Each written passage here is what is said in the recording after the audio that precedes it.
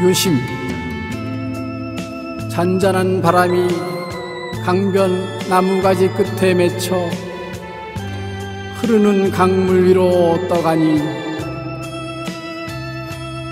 마음이 강물 따라 흐르고 음악도 감미롭게 들리네. 제 두름이 허공을 날아올라 부강의 흐름을 거스르니 수행자는 홀로 파랑나루에 서서 명상에 잠긴다.